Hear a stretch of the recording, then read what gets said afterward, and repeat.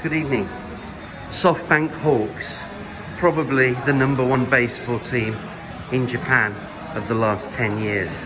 And here we are, 90 minutes after the game in which they won 8-2.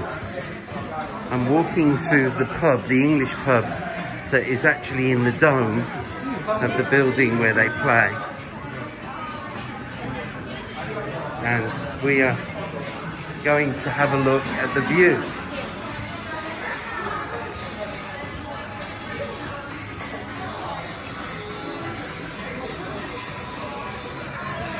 Welcome to Japan.